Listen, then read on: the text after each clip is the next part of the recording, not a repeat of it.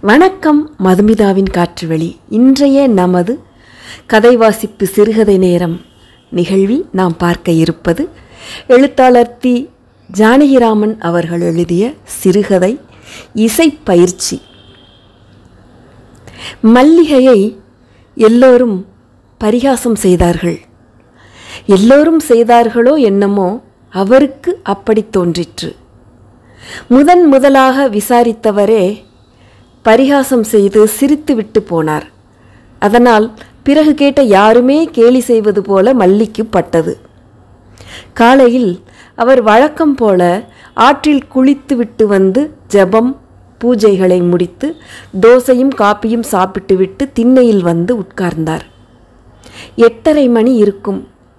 ஊர்கோடி திரும்பியதும் கூட்டுறவு மளிகை கடை மீது வைத்திருக்கும் ரேடியோ புனல் ஓய்ந்துவிட்டது. வெயில் தெரு முழுவதும் விழுந்து வெள்ளையாகவும் சற்று சூடாகவும் மாறிக்கொண்டிருந்தது.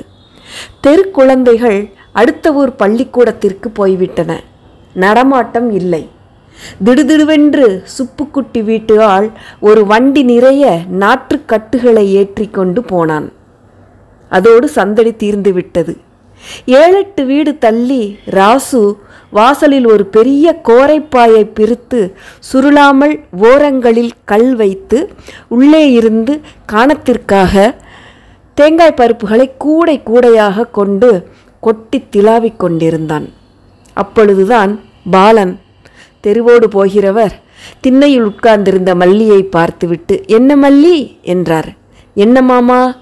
என்னம்மா கேள்விப்பட்டேனே? என்ன?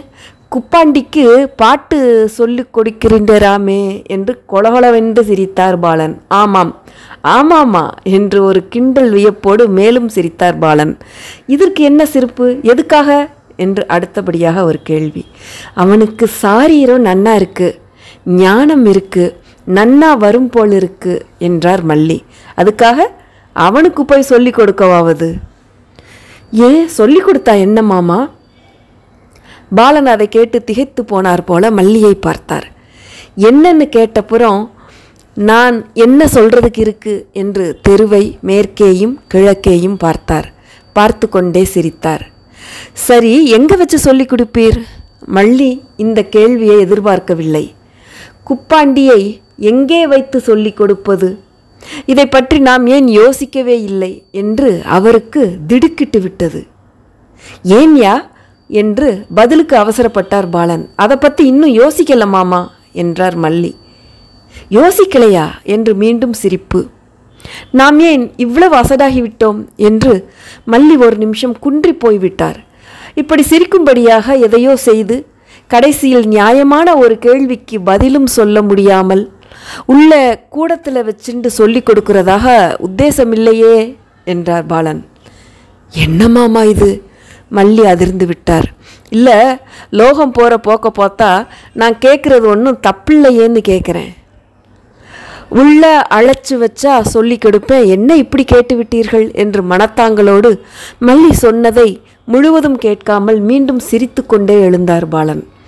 ஆலய பிரவேசம் ஆயிடுத்து தெரு பிரவேசம் ஆயிடுத்து கிரகப்பிரவேசமும் நீர் மனசு வச்ச காந்தி மாதிரி அதுவும் நடக்க வேண்டியது தானே? என்னமோ யார் எதை தடுக்க முடிகிறது இந்த நாளிலே? ஜமாயும் என்று சொல்லி எழுந்து கச்சத்தை உதறிக்கொண்டே தெருவில் இறங்கி தனக்கு இதைவிட முக்கியமான ஏதோ வேலை இருப்பது போல் யாரோ எதிர்பார்த்தா ஆசாமி வருகிறானா என்று பார்ப்பது போல் வாயிலுக்கு நேராக கண்ணுக்கு மேல் கையை கவிழ்த்து தெருக்கோடியை பார்த்து கொண்டே நடந்தார் பாலன். ஊரிலேயே வயதில் மூத்த மூன்று பேர்களில் பாலன் முக்கியமானவர். சொத்து சுதந்திரம் என்று அதிகமில்லாவிட்டாலும் வயதாலும் வாயாலும் ஊரில் ஒரு அந்தஸ்து வந்துவிட்டது. அவர் சொல்லி நாலு பேர் கேட்பார்கள்.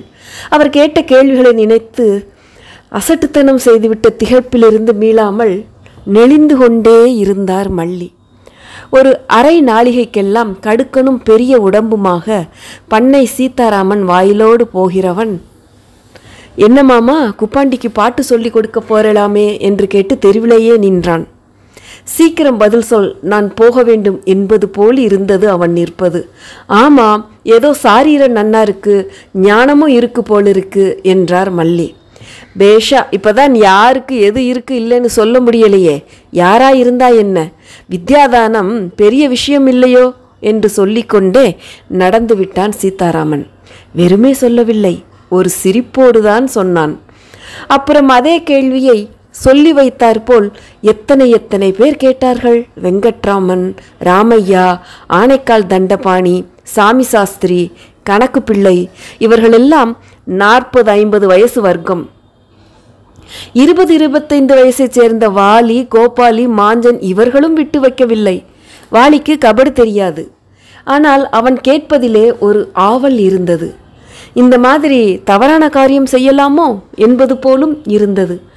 கோபாலி பெரிய சிரிப்பாகவே சிரித்து கொண்டு கேட்டது. அதற்கு வெகு காலமாக வலிப்பு உடம்பு துரும்பு சாப்பிடுவதையும் அடிக்கடி ஜுரம் ஜுரம் என்று படுத்துக்கொள்வதையும் தவிர வேறு ஒரு வேலையும் செய்ய முடியாது. அது என்ன பரிகாச சிரிப்பு சிரித்துவிட்டு போயிற்று? பட்டாமணியும் கேட்கவில்லை. பேசாமல் நடந்து போனார்.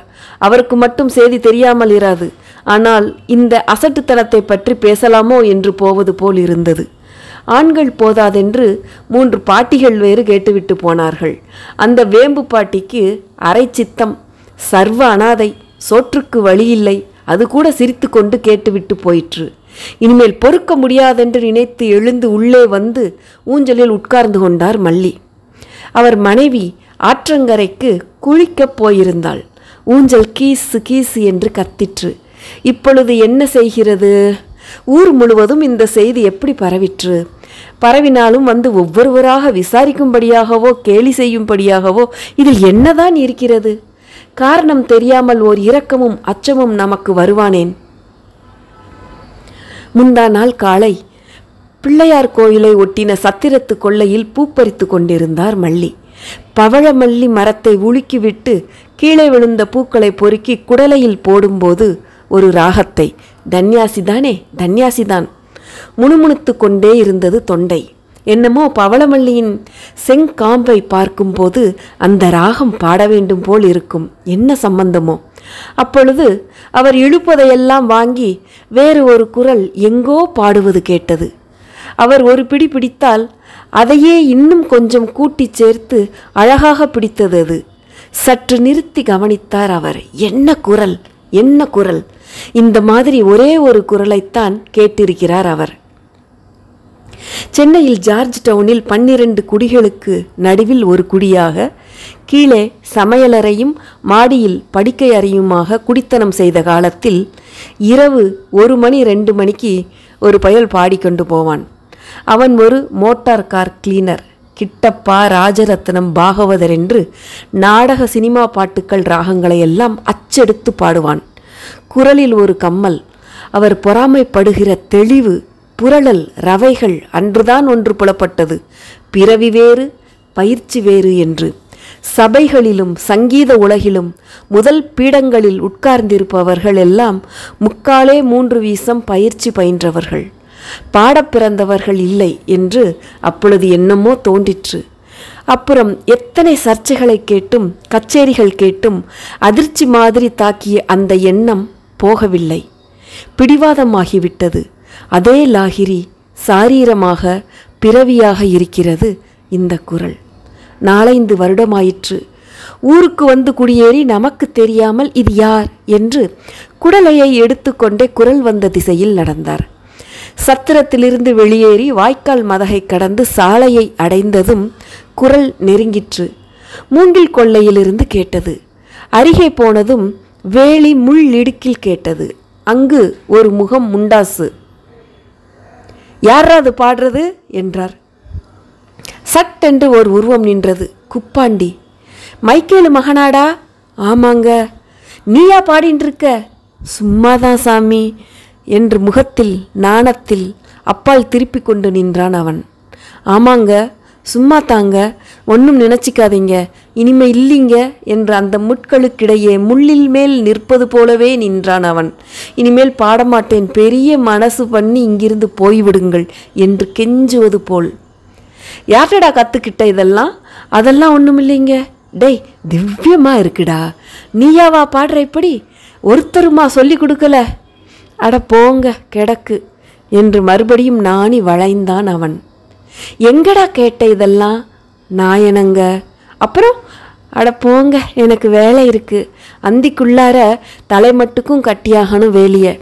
இல்ல சும்மா சொல்கிறா கோவில் உற்சவத்தில் கேட்டியா நாயனம் ஆமாங்க பதில் சொல்ல ஒரு அலுப்பு.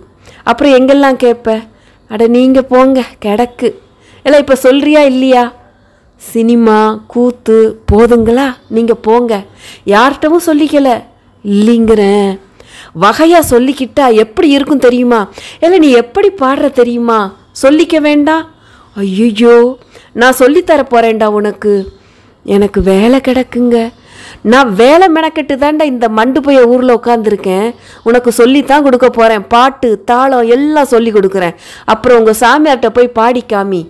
ஞாயிற்றுக்கிழமை கோயிலில் உள்ளே கூப்பிட்டு உன்னை பாட சொல்கிறாரா இல்லையா பாரு அடுத்த வருஷம். என்ன சாமி இது? அப்பேற்பட்ட ஞானம் இருக்குடா உனக்கு? நல்லா தெரிஞ்சுக்கிட்டு பாடினா கர்த்தருக்கு எத்தனை சந்தோஷமா இருக்கும். மரவேலிக்கு இந்தண்ட நிற்க வேண்டாம்.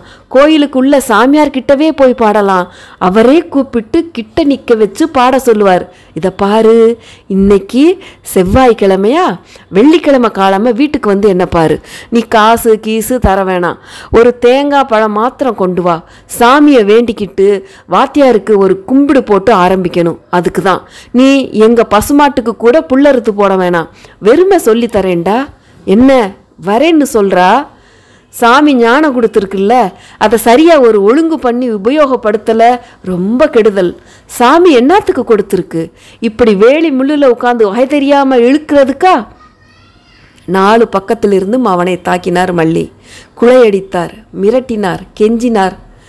நீங்கள் என்னதான் செய்யணுங்கிறீங்களா? என்றான் கடைசியில். வெள்ளிக்கிழமை எங்கள் வீட்டுக்கு வர வேண்டியது. அப்புறம் தினமும் காலையில் வந்து கற்றுக்க வேண்டியது. ரெண்டு வருஷத்தில் பாரு. அப்புறம் இந்த முள்ளு குத்திண்டே நிற்க வேண்டாம். பெரிய வித்வானா கடுக்கன் பட்டையெல்லாம் போட்டுக்கிட்டு பாகவதர் மாதிரி அம்மா பேட்டையார் மாதிரி கச்சேரி பண்ண போறடா சத்தியமாக சொல்கிறேன் சரிங்க சாமி விழுந்தாண்டா பயல். வெள்ளிக்கிழமை விடிய காலமே காத்துட்டு இருப்பேன் நீ வரலை? அப்புறம் பாரு வாரேங்கிறேன். அந்த நிமிஷம் அந்த கிராமத்தையே கொளுத்தி விட வேண்டும் போல் இருந்தது மல்லிக்கு அத்தனை ஞான சூனியங்கள் அத்தனையும் ஞான சூனியங்கள் மாடு சாணி விரை நெல் எருவடி யூரியா சல்ஃபேட்டு கவனை மடை வேறு ஒன்றுமே கிடையாதா? மல்லிக்கு பொங்கி கொண்டு வந்தது. எப்படிப்பட்ட சாரீரம் எப்படிப்பட்ட ஞானம்?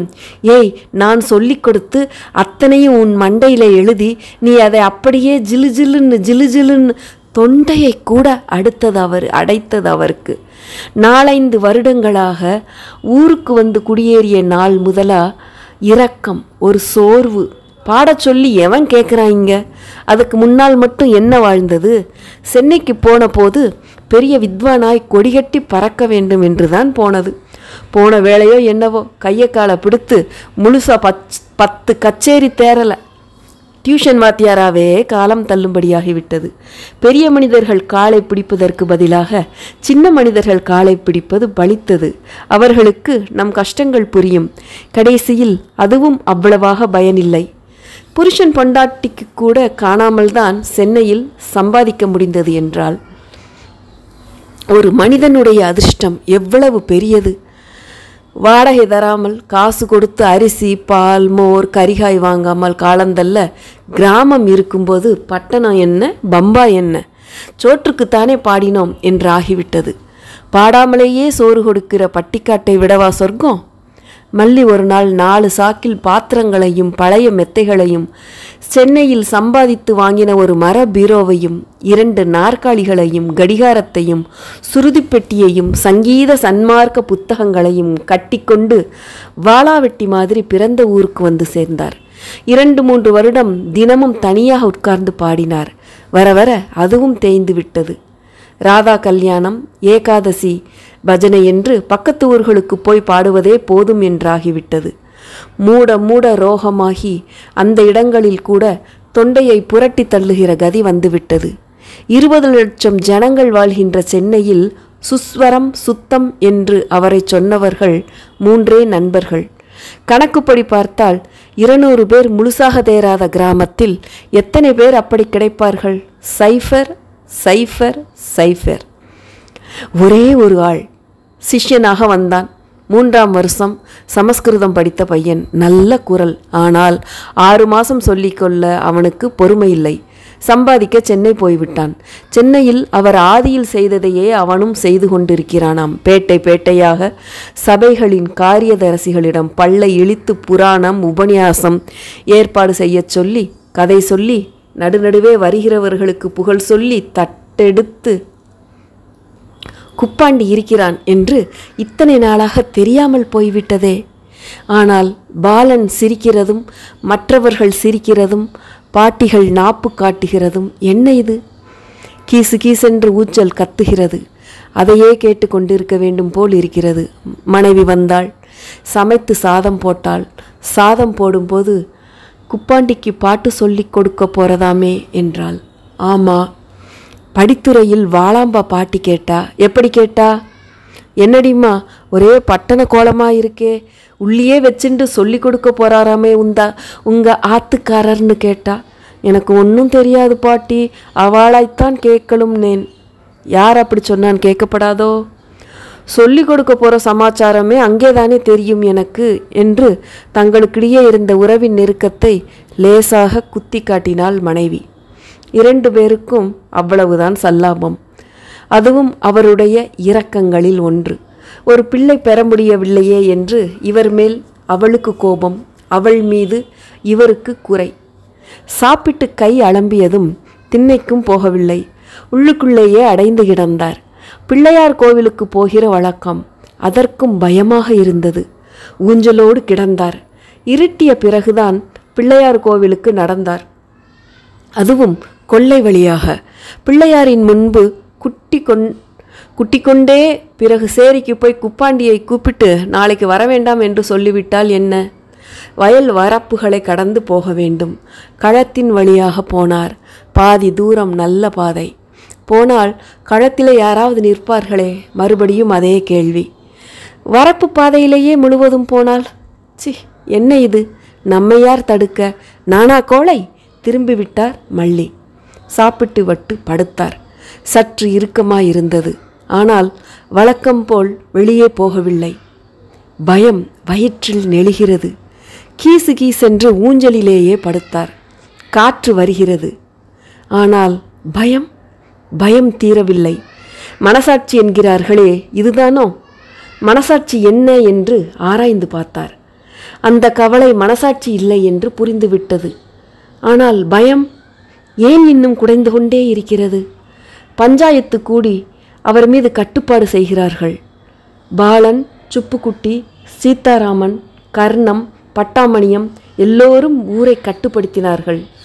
கோடாளி என்று பாலன் மாமா கையை வீசிக்கொண்டு விழியை உருட்டிக்கொண்டு அடிக்க வருகிறார். என்னது? என்னது? என்னென்னேன்?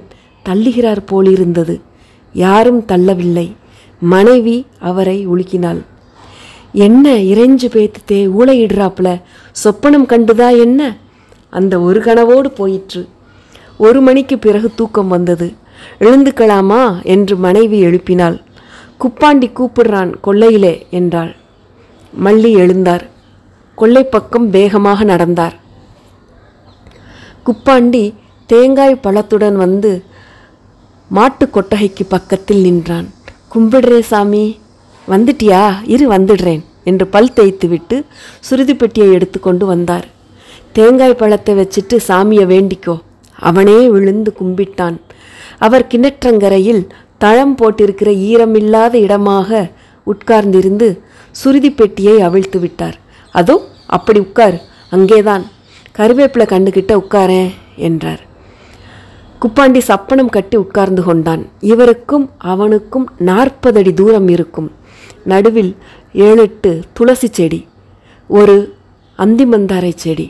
சொல்லு நான் முன்னால் சாப்பாசா சொல்கிறேன் முன்னாடி ஒரு தடவை கேட்டுக்கோ அப்புறம் ஒன்றுன்னா சொல்லுவேன். நீ பாடணும். சா பா சா. இப்போ சொல்லு சொல்லு சா.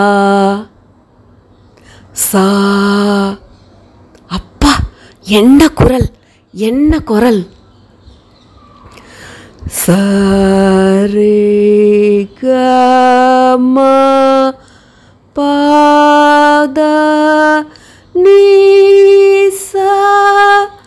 சாணி பா மக ரீச சரிகம பத நிச சாணி தப்ப மகரிச சரிகம பத சாணி தப்ப மகரிச சரிக பத சாணி தப்ப மகரிச. சரிகம சரிகம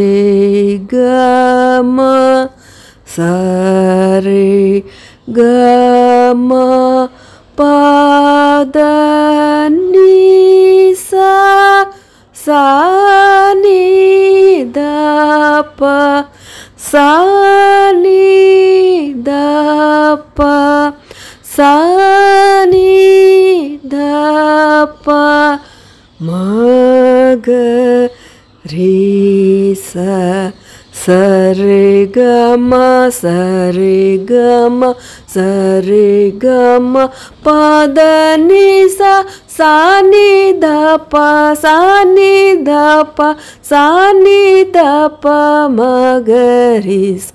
சரிகம சரிகம சரிகம பத நிச சாணி தப்ப சாணி தப் சாணி தப்ப மகரிச சரிகம சரிக சரிகம பத நிச சாணி தப்ப சாணி சாணி தப்ப மகரிச முதல் காலம். ரெண்டாவது காலம் மூன்றாவது காலம். என்ன புத்தி இந்த பயலுக்கு? என்ன வேகம்? என்ன இனிமை? அட கந்தர்வ பிசாசு. கொள்ளைப்படலை சாத்தாமல் வந்துவிட்டான் குப்பாண்டி.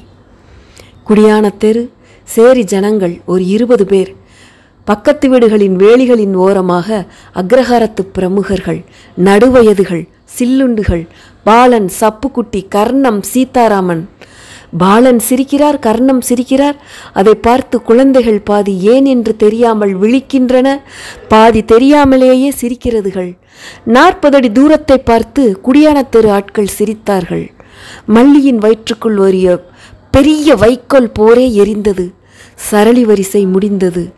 சா பா சா பா சா. சா பா சா சா இன்னைக்கு போகிறோம் நாளைக்கு காலமே வந்துடு இதே மாதிரி. குப்பாண்டி எழுந்து நடந்தான். அவனோடு குடியான தெரு சேரிய ஆட்களின் கூட்டம் கலைந்தது. பாலன் வேலிக்கப்பால் இருந்து சொன்னார் மல்லி ரொம்ப அழகாக பண்ணிவிட்டீர் என்றார். மீசையில் படாமல் கூலும் குடிச்சாச்சு என்றார் கர்ணம். அதை கேட்டு சீதாராமன் கொலகொலவென்று மார்ச்சதையும் வயிறும் குலுங்க சிரித்தான். அவன் பெரிய மனிதன். எனவே மற்றவர்களும் அதை வாங்கிச் சிரித்தார்கள். உடனே இந்த பக்கத்து வீட்டு கொள்ளையிலிருந்த குஞ்சு குதிர்களும் நகைத்தன. அவர் சற்று நின்று பார்த்தார். என்னடா சிரிக்கிறேள்? என்னடா சிரிக்கிறேள்? என்று அதையே திருப்பிச் சொன்னான் சீதாராமன். மறுபடியும் பெரிய சிரிப்பு. உங்க என்று மீதி வெசவை வெய்யாமல் நாளைக்கு உள்ள வச்சுண்டு பாடம் சொல்றேனா இல்லையா? பாருங்கடா ஒளிச மக்கால என சுருதி பெட்டியை வீசி கூட்டத்தின் பக்கம் எறிந்தார் மல்லி. அது வேலியில் விழுந்து துருத்தியில் முள் தைத்து கொண்டு கீழே விழுந்தது. அசடு மாதிரி நடந்தார் மல்லி. சட்டென்று அதை எடுத்து கதவை தடார் என்று சாத்தி தாளிட்டு கொண்டு உள்ளே வந்து முள்ளை எடுத்தார். நீங்கள்லாம் நல்லா இருப்பேளா? என்று தாளிட்டு கொள்ளை கதவுக்கு இப்பால் நின்று வானை பார்த்து அவர் மனைவி சபித்து கொண்டிருந்தாள். கிடக்கான் நீ வா. நாய்தான் குலைக்கிறது. நீ வேற ஏன் குலைக்கணும்? கொஞ்சம் கோந்து வேணும். உள்ளே வா என்று மல்லி கத்தினார். இப்பொழுது பயத்தோடு ஒரு தனிமையும் அலட்சியமும் சேர்ந்து கொண்டன. காய்ச்சல் வந்த மாதிரி கை நடுங்கிற்று. ஊஞ்சல் மீது படுத்து சங்கிலியை கெட்டியாக பிடித்து கொண்டார். நன்றி வணக்கம்.